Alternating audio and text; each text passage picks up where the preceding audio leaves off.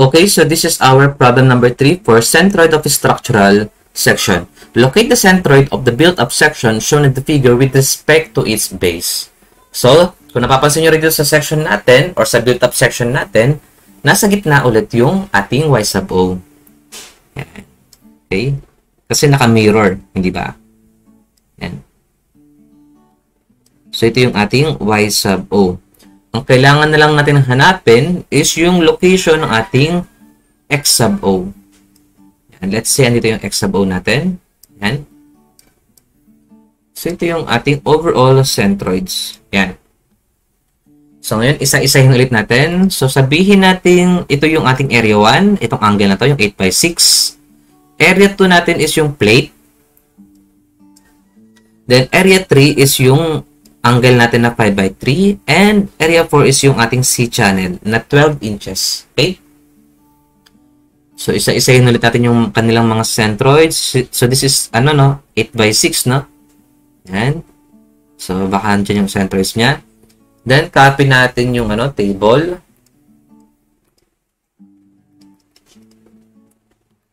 Yan. Okay, so 8 by 6. Ang 8 by 6 natin is 2.65, no? X bar niya. Okay, so since nakahiga yung kanina, okay, so tama, ito yung X bar natin. So Y bar ang kukunin natin, okay? Ang Y bar natin is 1.65, that is 41.9. Okay? So ito. Oops. Ayan.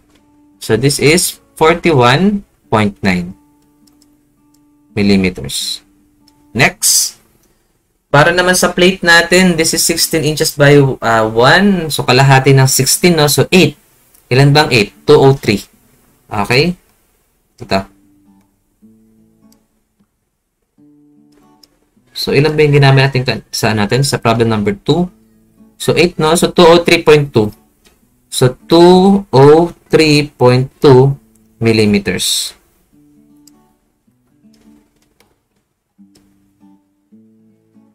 Yan. Okay? Next naman is yung 5 by 3. Ang 5 by 3 natin is andito. Yan. So, ang gagamitin natin ngayon dito is, ito kasi ano eh, yung mahaba. Then ito yung ano, no? So, tama. So, 5 by 3 y bar, 0.75, that is 19.1. Pero ito, hanggang dito lang siya. Okay? Hanggang dito lang. Yan. Okay? Yan siya. So, this is what? Um, 19.1 millimeters. Okay? Tapos ito, yung 12 inches natin, ang thickness nito is yung 0.28, no? Ilan nga ba ang 0.28? Okay. Saan ang pang-convert natin yan? 7.1 ata. Okay, so 7.1. So, 7.1 millimeters. Yan. Tapos, ang centroid ng ating 12 inches is andito sa gitna. Nandito siya. Okay? Then, ito yung kanyang centroids. Yung kanyang Y bar. Ilan ang Y bar nito? Um, ang Y bar nito is ito, yung 0.7. No? Kasi nakahiga na to eh. Okay, kung naalala ninyo, yung, yung itong X bar na to is para sa nakatayo. Okay, nakaganyan. Ito yung X bar niya. So, since ihiga natin yan, okay, ayan, ihiga natin yan, yung X bar niya, siya na yung magiging Y bar dito. So, that is 0.7. So that, that is what? Uh, 17.78. So 17.78 millimeters. Yan. Okay. So over overall height natin is ano no? 406.4 no? Tama ba? So ay hindi. Ang overall ang overall ano natin height is 406.4 millimeters plus thickness ng ating ano ng ating uh, C channel. Okay? Ayan. So this is 406.4. So pwede niyan. So, area 1. Ang area 1 natin is yung... Ba't pala di natin ano? Tinanggal muna. Okay? Sulat natin lahat. Yan. So, area 1. Ang area ng 8 by 6 is 8387.1. 8387.1 millimeter squared. Okay, then ang kanyang y bar is okay, ang overall natin is 406.4 plus 25. Okay? So, overall height is 431.4. So, 431.4. Then, minus 41.9. Yan. 41.9. So, 389.5. So, 389.5. Wait lang. Dito natin lagay. So, Y1 is equivalent to 389.5 millimeters. Okay? Then, area 2. Area 2 natin is yung plate. 16 by 1. Okay, ang 16 is 406.4. Then, ang 1 is 25 millimeters. So, 10, 160. So, 10, 160 millimeter squared. Then, ang ating Y2 is kalahati ng 406. Sorry, this is ano, no? Mali to. Ito. Hanggang, di, hanggang dito lang pala yan. Ayan. Okay? Yan. Okay? So, ano, uh, kalahati ng 406.4, 203.2 plus yung 7.1. Okay? So, 203.2 plus 7.1. So, this is our Y2. So, 210.3 millimeters. Okay? Next area, 3. Ang area 3 natin is 5 by 3. So, that is 2419.4 millimeter squared. Then, ang Y3 natin is, okay, as it is, no. 19.1 plus 7.1.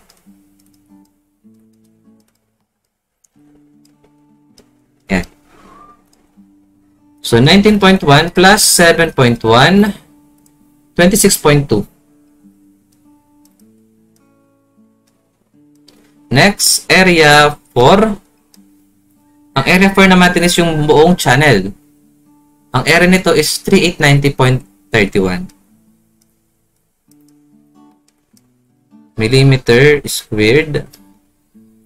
Then, ang ating Y4 is, okay, as it is na lang, 17.78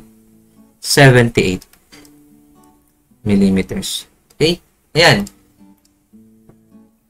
Then, makukuha na natin yung ating y-bar. y-bar is equivalent to area 1 multiplied by 389.5 plus area 2. Ilan bang area 2 natin? Oops, sorry.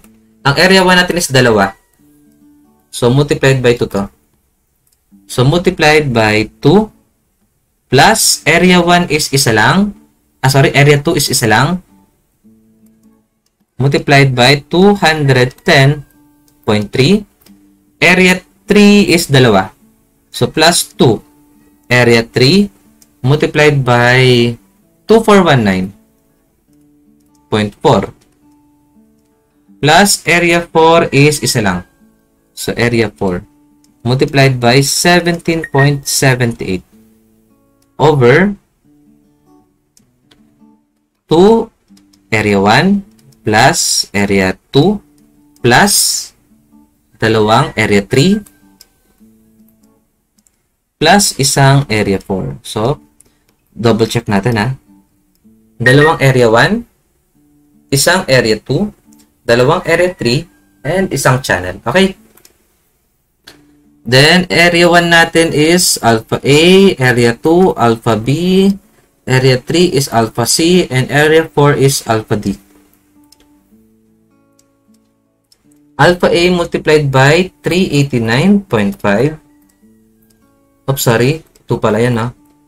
2. Then, alpha B is isa lang. Multiplied by 210.3 plus dalawang area 3. Multiplied by 2. Okay, 2419. Wait lang, area pala yun. Sorry, sorry. 26.3. Eh, nagtaka ako. Okay? So, 26.2 lang. So, this is 26.2. Busog lang natin to. Tama ba?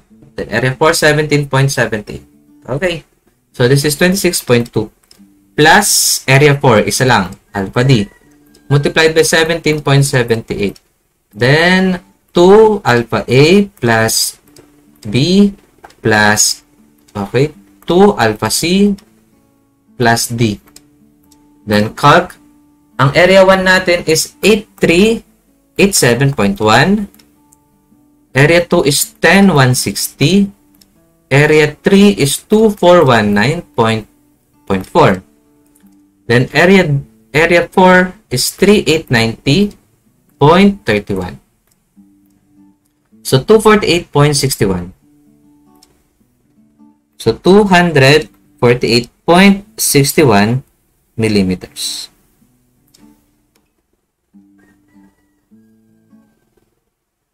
Ayan.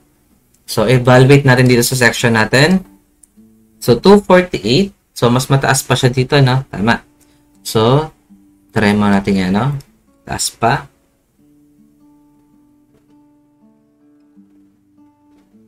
So, this is 203, no? So, 248. Yan. So, ito yung ating overall Y bar. Okay? So, yung overall Y bar natin is 248.61 millimeters. Yan. Okay? So, uh, kung check natin, ilan ba to? Check natin ha. So, 406.4 plus 25. Okay, yung overall height yun. Minus 248.61. So, 182.79. Ito. So, 172 point, no, uh, 182.79 millimeters. Ayan. So, nasa taas ulit yung, uh, or malapit sa taas, yung ating overall centroids. So, bakit? So, malaki to, no, yung 8 by 6. Although meron ditong ano, 12 inches, so mas malaki tong ano, mas malaki tong area na to. Ayan. So, ilan bang area na 8 by 6? Ano? Uh, 8, 3. So, dalawa pa yan. Okay, tapos ang area ng ano, area 3. So, area 4 is 3, 8 lang. So, tama. Mas, ma mas mabigat. Okay, yung nasa taas. Kaya yung ating centroid ay mas malapit sa taas. Okay? So, yan. So, this is our problem number 3 for centroid of structural section. So, thank you for watching. Bye!